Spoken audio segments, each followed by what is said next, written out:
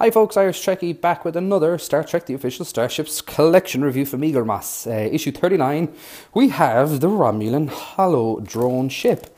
And um, one that wasn't on my radar, pardon the pun, um, but this looks like a pretty sweet model. Um, huge amount of detail in there. I hope it all is intact with the courier, uh, the carriage even. But yeah, looks pretty sweet. Um, let's get inside. And uh, hopefully this one's a little bit easier to open in comparison to the last one as I struggle. I am strong, I promise you I am strong. So let's slide this out. Okay. So we have a great, ooh, interesting front-on view there um, of the holo drone ship. And uh, pretty decent looking model actually. You can see a lot of the detail, in, uh, the detail, the detail in there. I can't even talk on this video. I do apologize. Um, so let's put the model to one side and let's have a look of what goodies lay inside of the magazine. So here we have the front cover again of the Romulan drone ship. Um, launched 2154, uh, length 35 meters, uh, top speed warp 5. Not a big ship. Um, not much bigger than the Delta Flyer. It was only, what, 14 more meters? Not too much. Um, but really unique design. Um, I think these were the holo modules on the outside of it as well, giving it any appearance it wanted. So cool.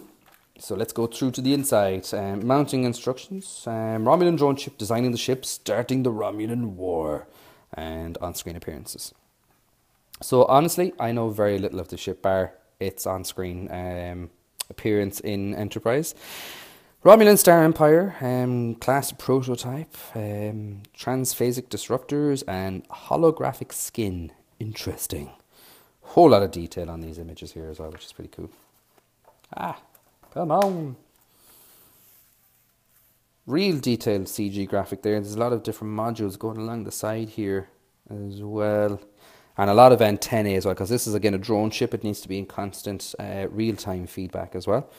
Um, in 2154, the Romulan launched an experimental drone that could disguise itself as another or any other ship.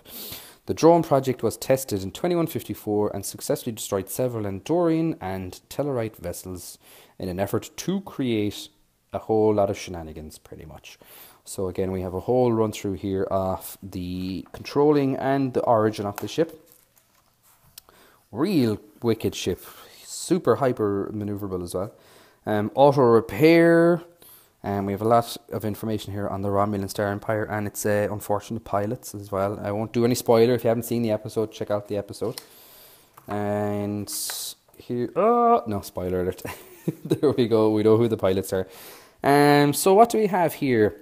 We do have a bridge. Obviously, that was manned at some point. Um, subspace transceivers, disruptors are just on these kind of pylons here. Multi-spectral emitters are what these nodules are here. And the warp engines are just in the back inlaid there as well. Right, um, anything else here? Similar kind of telepresence system known as interface probe was later developed to be used by the Federation. So, yeah, I, I think there was, like even in Janeway in the, um, the where she came back on from the future, didn't she have kind of a neural connection to the shuttlecraft as well for piloting? So yeah, ahead of its time. Romulan drone. Okay. Um, oh, was it? Was it in there? I didn't. There you go. I didn't even know that. The design, uh, informally known as the Flea, made two brief appearances in Voyager. The crew found a ruined version floating in chaotic space in The Fight. Uh, the eagle eyed viewer spotted it docked in a space station in Natural Law as well. Ah, well, look at that. I did not know that at all. Cool. I love how interwoven this has become. And the strange free-egg ship that became the Romulan drone had a long and complicated journey on screen, indeed. And here we have all about designing it as well. So again, we have these kind of modular, kind of crab-like, or, you know, insect, even flea-like, you know, uh, exoskeleton frame on it, hiding a lot of the sensitive components. Huge amount of detail on it, actually. Um, what else do we have here? It's just about some lighting and CG stuff as well. Pretty awesome. And starting the Romulan War. Who doesn't like the Romulans? Who's your favorite race in Federation? Is it in Star in Star Trek? Is it the Federation, which is not so much a race, um, a whole variety of different races. But who's your favorite? Is it humans, Bajorans, Romulans, Klingons? I know there's a lot of Klingon fans out there, but let me know in the comments below. Not right here, I mean down here. Um, just love to hear from you guys uh, as often as you can. So I won't go too much spoilers in here.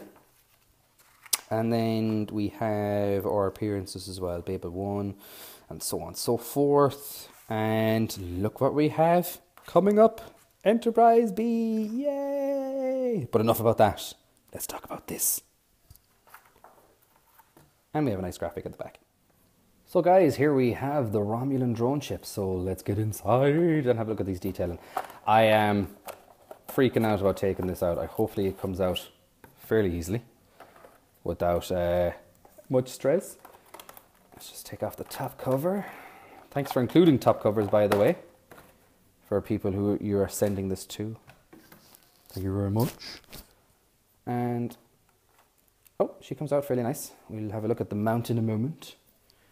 Or when we mount her in her. Mount her. Oh. Okay. So, drone ship. Wow.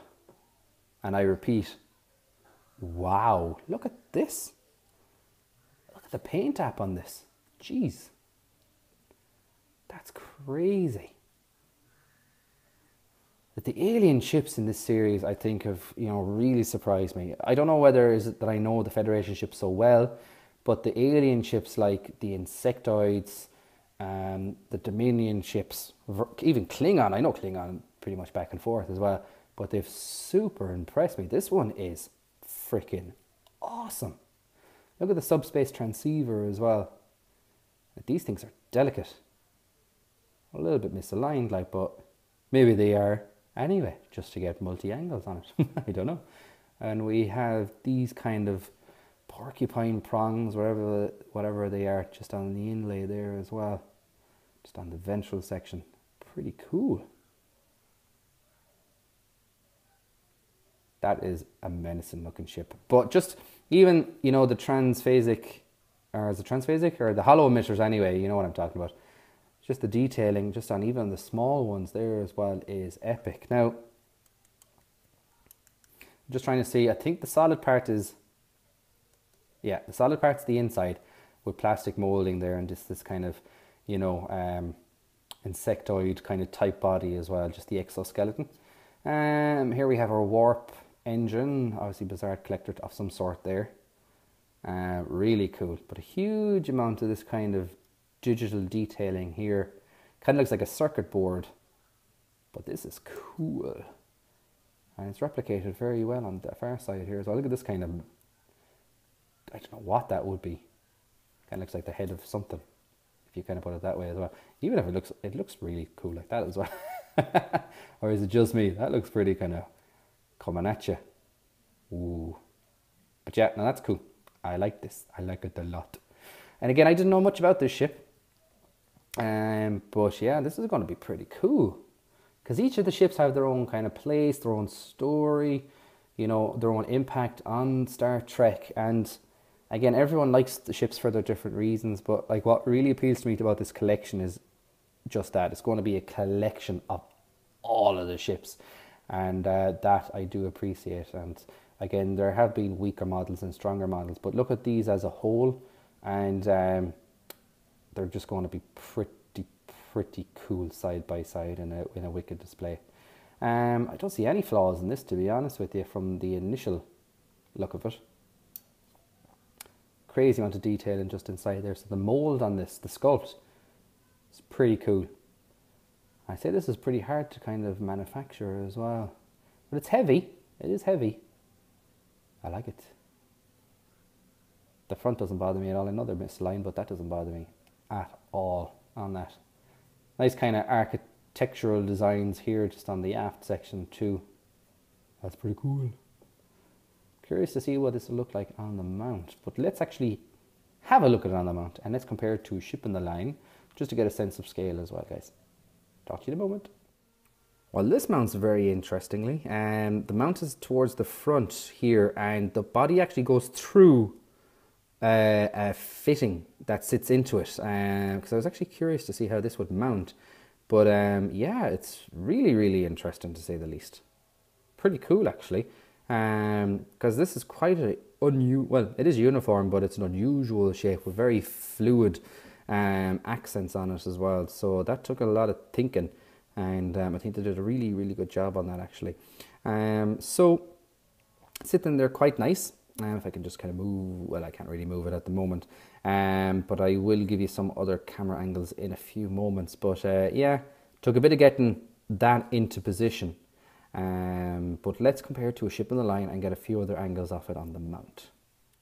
So here we have the Andorian uh, battle cruiser versus the drone ship. Um, I thought it'd be quite nice to show these two different species, but um, both occupy the same kind of screen time, um, pretty much in Enterprise. But uh, definite design philosophy changes. We have the good old green Romulan.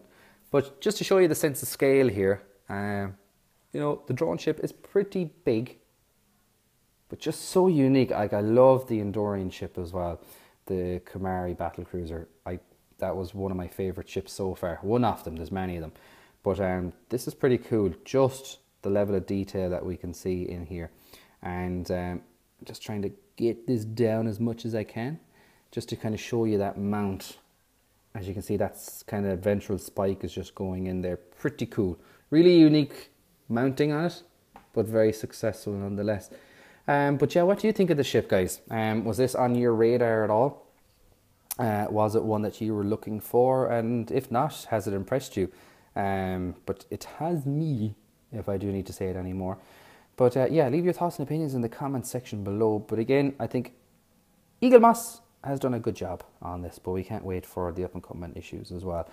Um, but thanks for watching and leave your thoughts and opinions in the comment section below. I'd love to hear from you guys. And don't forget the social feeds as well Facebook, Instagram, and Twitter um, to join in the conversation for the Irish Trekkie community. But thanks for watching, guys, as always. And don't forget to hit the like and subscribe button. And your support is always much appreciated. But I've been Irish Trekkie, and I will see you guys in the next video. Take it easy. Bye bye.